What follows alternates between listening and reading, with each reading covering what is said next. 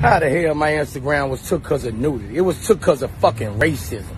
That's why it was took. The girl who I posted on my the girl who I posted on my piano, she had emojis over everything. She had emojis over everything. You took my Instagram and you took her Instagram. You gave her her Instagram back in three, four days. But you took my Instagram. Tell the truth. Tell Charlemagne the God the truth. That's the fucking truth. The girl I posted on my piano, she had emojis over all her body, body parts. You took both of our Instagrams. You gave her her Instagram back. You gave her her Instagram. You never gave me mine back.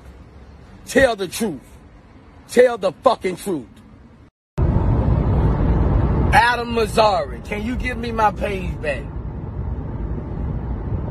Y'all gave her her page back. Can you give me my page back? Before that, my page was never taken away from me. You didn't gave everybody their page back. Give it, give me another chance. Give me my official Boosie page back with my 10.5 million followers.